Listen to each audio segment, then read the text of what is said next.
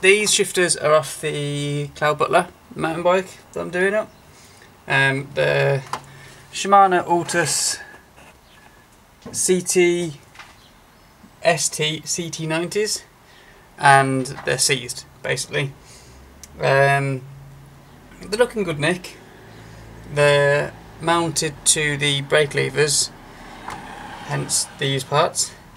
Um, but if I was to apply some cable tension, they will not shift through the gears. They're uh, inside mechanically, they're all gunked up and seized basically after the years of use. Um, they shouldn't be too hard to fix, hopefully. I should just need to strip them down, clean them out and re-grease them. Um, don't know if you can see just in the end there, that's filthy. But we're just going to take this cap off here. Well, take the cables out first, take the cap off. I'm missing an adjuster. Oh. Um, and then, yeah, see where we go from there. So, let's take the cables out first. That's if the cables will want to come out. Um, save messing around with long cable.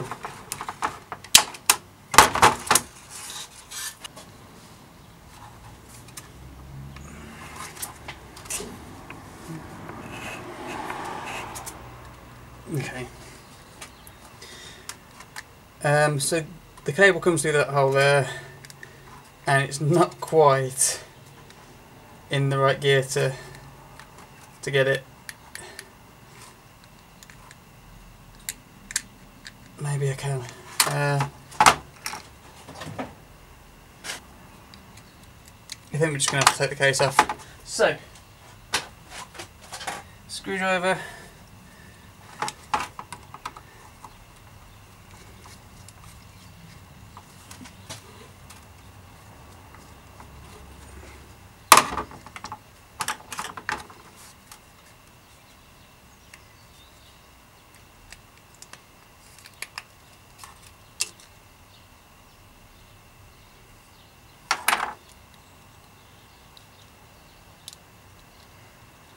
There you go, cable come out now.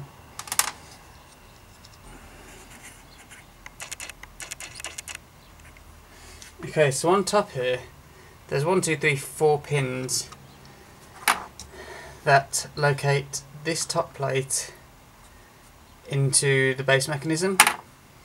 Um, you can see here, there and there are meant to be the pawls, um, which engage or disengage the levers when you move them. And they are what you see there that's meant to spring back. Yeah.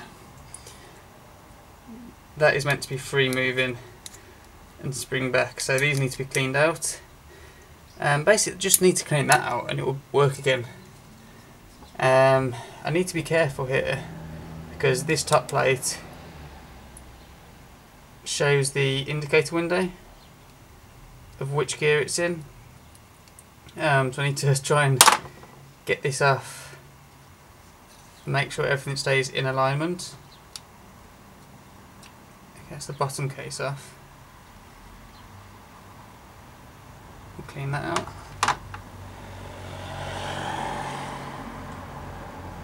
Ooh, it's got a spider in here. And just pull the top one off. Need to take this bolt out.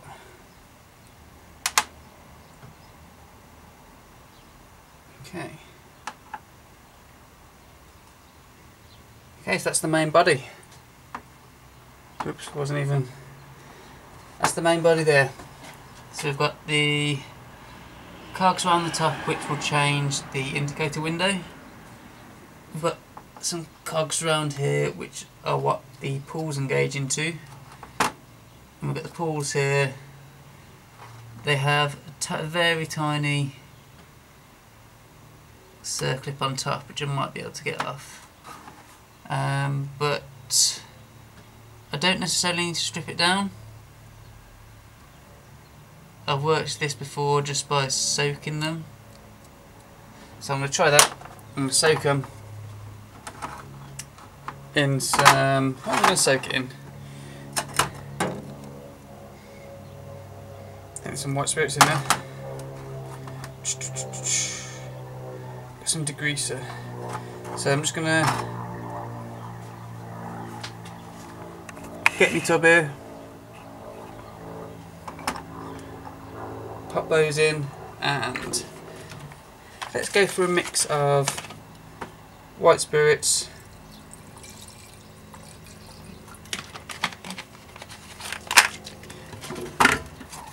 and a mix of degreaser.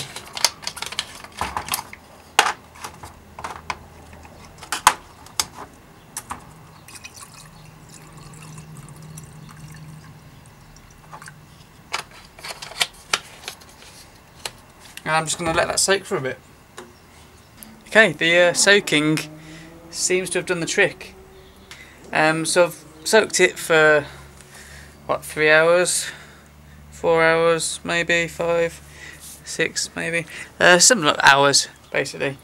Um, toothbrush, cleaned it off, and then when I took it out, I just went round it again with some WD-40 and a toothbrush.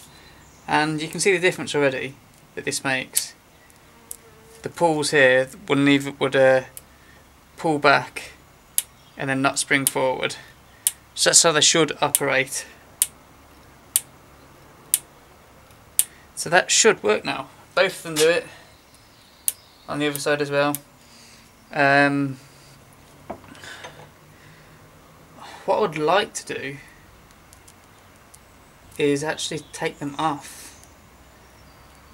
should mean having to try and get these C-clips off on top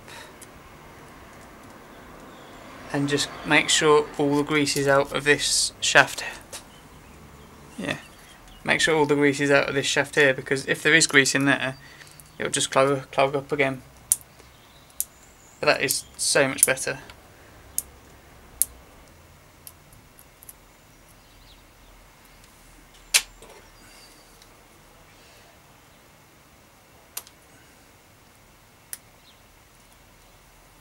Don't lose it, don't lose it, don't lose it, don't lose it, don't lose it. Whew. Okay, I need to put that somewhere safe. My hands are shaking doing this because it's so, so fine. Okay, that goes there.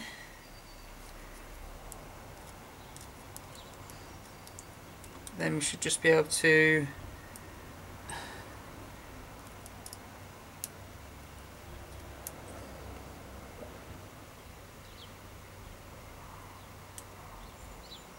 lift it off we've got to make sure we put this spring back in the right position when we take it off.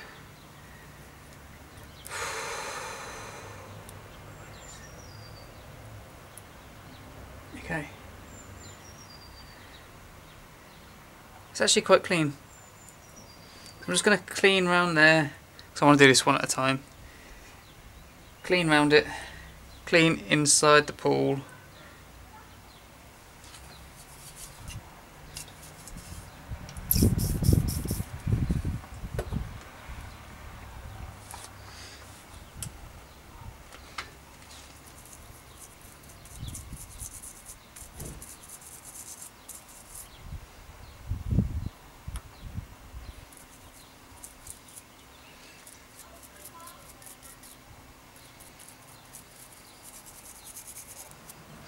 Okay, so what I'm just going to do is put a drop of Phil Woods grease inside the pawl.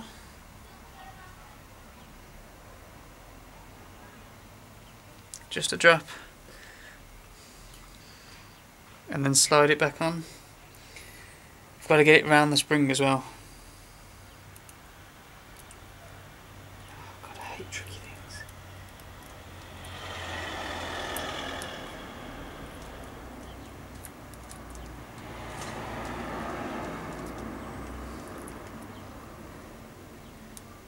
that's down. Spring goes over the top.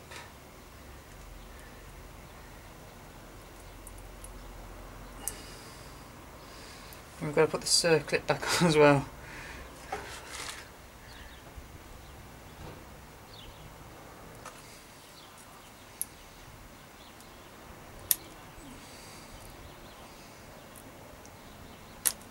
There we go. Whew. Okay, just needed some. Uh, I just got us. Am I in focus? Kind of. I just managed to get the screwdriver and do it. So, hopefully I've done that right. Yeah. There we go.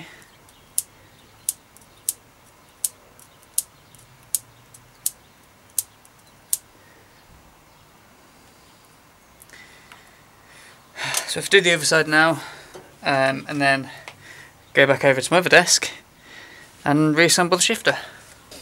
Right, can you remember how this goes back together?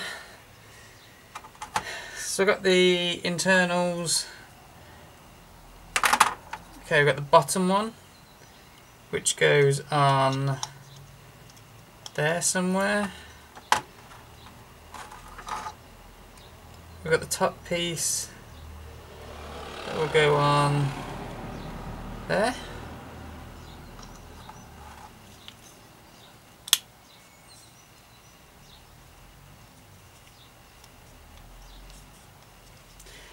Where's my screwdriver?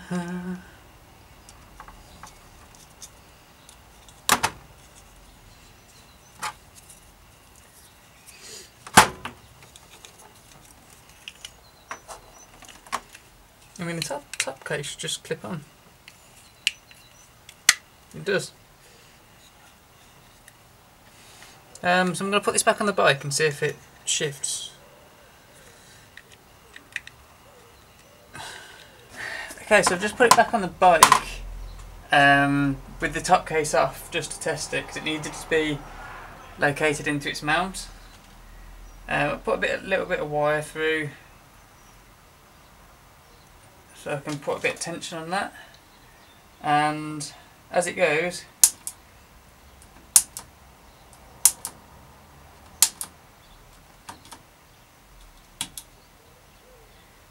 got all six movements.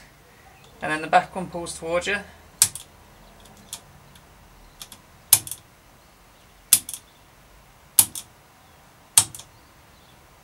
okay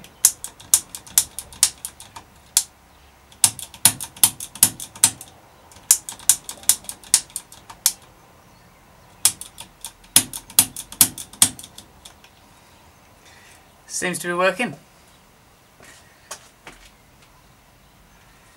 Seems to be working. So there we have it. Um, like I say, it's not too hard to fix them. They just need a real good clean out because the original grease that's in there gets really gunked up um, and sort of solidifies inside. That's why the shifter won't work because the pawls get stuck. Um, but yeah, I'm just going to take it off again, put the top case back on and remount it, and do the other side. And I'll have saved the shifters, basically. Yes. So that'll be good. Um, but if this video was useful, then please give it a thumbs up. That'd be appreciated. If you haven't subscribed already, then hit the subscribe button. Um, and yeah, stick around, keep watching, I'll have more for you, and I'll see you in the next one.